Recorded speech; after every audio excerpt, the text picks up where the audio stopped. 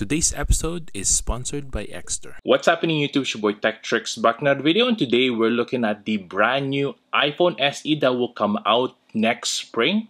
And we're gonna talk about the iPhone 14 that will be coming out next week, specifically the iPhone 14 Pro. And we have some bad news. Here we go.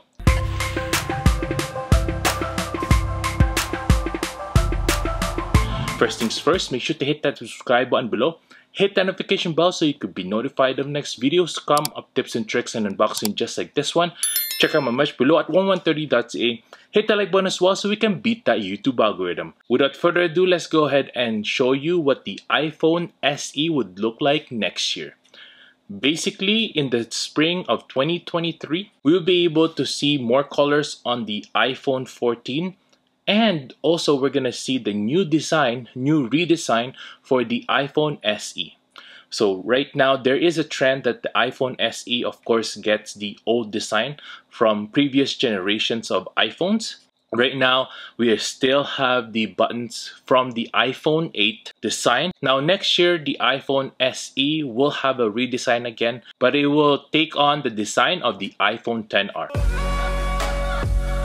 Now the iPhone 10R is one of the best sellers of the iPhones and it still lives up till today. I actually owned an iPhone 10R and I used it for quite a while. It was a great phone and nothing wrong with it until the processor starts to bog down because I use it a lot for taking videos and editing. So with the iPhone SE coming out next year, it will have the new A16 chip that will be in iPhone 14s. So you'll have that speed and great processing capabilities of the iPhone 14 in a 10R body.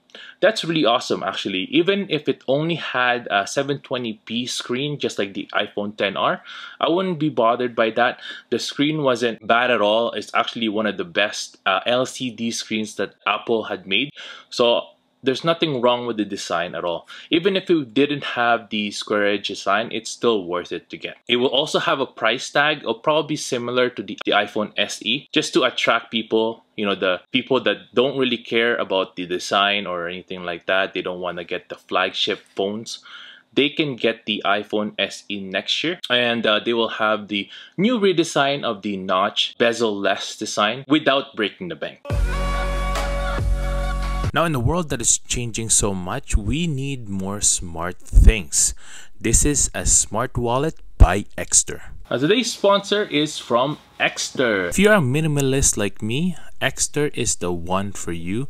It will organize your credit cards into one place and you'll be able to access it really quick as well. They have various slick designs from leather, gunmetal, and carbon fiber. You can even get a tracker card or one that has an AirTag slot so that you can find your wallet wherever it goes.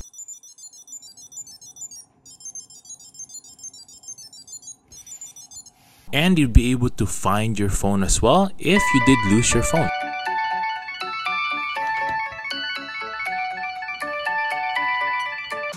They even have a perfect bag for daily commute or a weekend adventure tech sleeves if you have laptops, tablets, and tech accessories. They even have MagSafe wallet. They have a tool card as well that you can use so that you're always ready to go when you are on the go. And then you have the key holder as well that you can use to track or have flashlight you know, just in case. Now check out the link down below or go to shop.ekster.com slash Paul Taligato for 20% off. And thank you Ekster for sponsoring this episode of Tech Tricks. So last news of the day. Now we know that the iPhone 14 Pro will have the redesigned punch hole design on the camera and the Face ID. Those are great and all, and I believe that the hardware will still have that. But in iOS 16, there's a rumor that punch hole design will just be a long punch hole instead of two separate ones. Now for me personally, the long punch hole looks cleaner and it's more symmetrical overall. That's why I think Apple will actually do this. We're not really sure if this is happening or not yet because the iPhone 14 hasn't been released yet till next week.